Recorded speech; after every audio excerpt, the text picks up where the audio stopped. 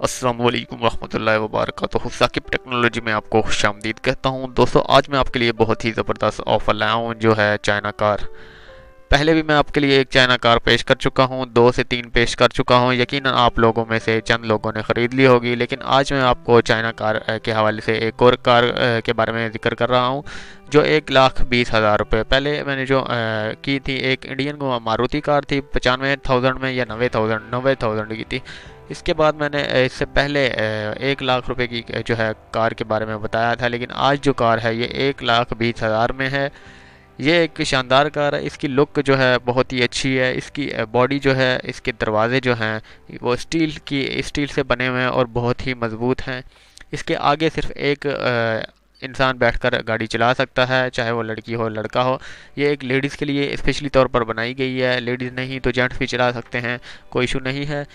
इसमें ऑटोमेटिक गाड़ी है, इसमें कोई गेयर वगैरह नहीं है ऑटोमेटिक कार है।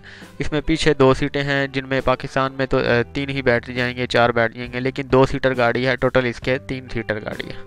बहुत ही शानदार है और ये आपको कहाँ से मिलेगी, ये मैं आपको थंबनेल्स में बता चुका हूँ, फिर भी मैं आपको वाजह तौर पर बता दूँ, लाहौर एक्सपो सेंटर में जाएँ और वहाँ से आप परचेज कर सकते हैं, बहुत ही ज़बरदस्त कार है। आपको तस्वीरों में मैंने वाजह तौर पर बता रखा है, तस्वीरें आप देख रहे होंगे तो आप देख सकते हैं कि कितनी शानदार कार है। इस कार का नाम जो रखा गया है, सुपर कार रखा गया है। सुपर कार इसका नाम है और ये रोड पर चलते हुए बहुत ही अच्छी इसकी रोड ग्रिप है और बहुत ही तेज़ी से चलती है।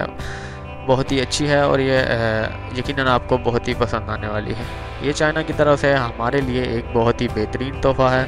अगली वीडियो के लिए इजाज़त दें। चैनल को सब्सक्राइब करना ना भूलें। अल्लाह हाफिज़।